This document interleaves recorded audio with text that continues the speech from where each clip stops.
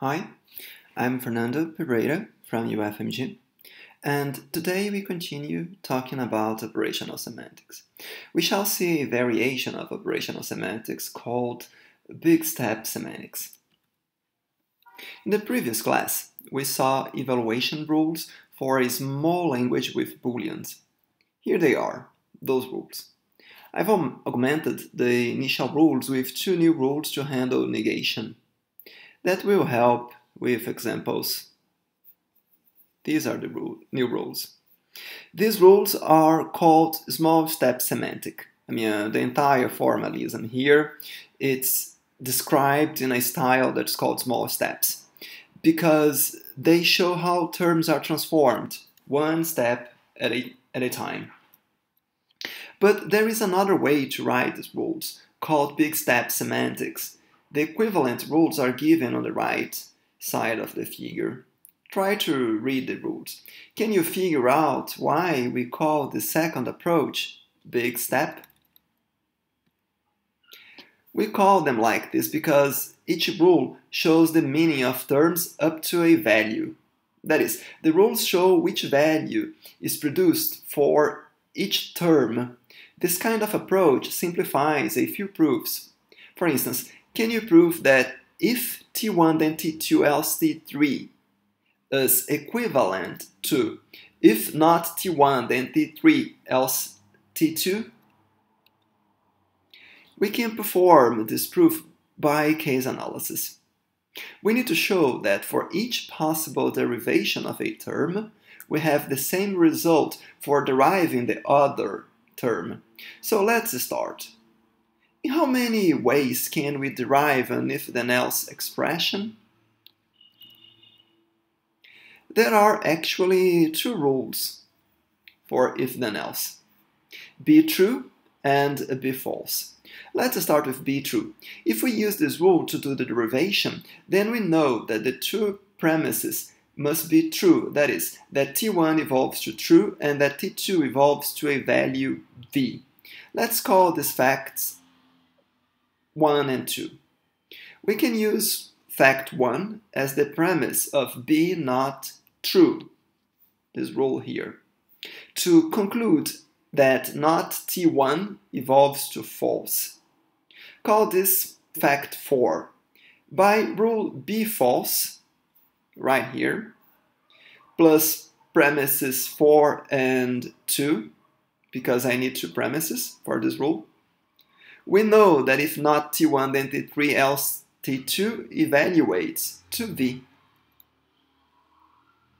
If we assume that B false was used to derive the if then else instead, then reasoning is similar. We can stop the video, you can stop the video I mean, and read the proof over. Just check that proving equivalence in this case is just a matter of plugging facts in the right rules. The proof is very mechanical. If we had to use the small step style to do the same proof, it would have been more difficult we need induction because the rules use premises that do not terminate immediately. Using the small step style, there are three rules that we can apply on the if then else. If we apply if true, then the proof is simple. I've written it above, and you can read it. No induction is necessary actually. Assuming e if false is the same, no induction is necessary. You can again stop the video and read the proof above. But if we assume E if, this rule here, then we need induction. We will need to apply induction on the derivation t1 arrow t1 prime.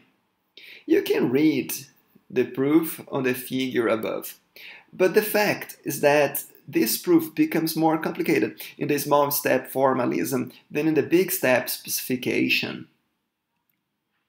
In other words, because terms evaluate directly to values, many times, oftentimes, we can prove facts using the big step style without any need of induction. It's just a matter of plugging facts into the right rules. In the small step style intern, usually we need induction whenever we have premises that also use evaluation rules, like here and here. And yet, often the small step style is more used than the big step style. Why is this so? Big step specifications have a few problems. In particular, it's problematic to deal with programs that do not terminate. And it is also difficult to reason about the order of eva evaluation in big step specifications. But in the small step style, usually it's very easy to specify the order of evaluations because we are specifying transformations one step at a time. One advantage of the big step style is that it's easier to implement interpreters. For instance, here's an interpreter for our toy language in Prolog with Boolean and arithmetic operations. In the small step style, um, I mean, this is in the big step style. Notice that this is pretty faithful copy of the evaluation rules. And here it's an example of queries that we can run on the interpreter. So we can evaluate programs using this interpreter and we can see that the meaning of each program is a value when the program terminates. Notice that if we had to implement the same interpreter using the small step style, then we would have to implement some way to iterate on the rules because each rule evaluates just one small step of the process of interpreting the program.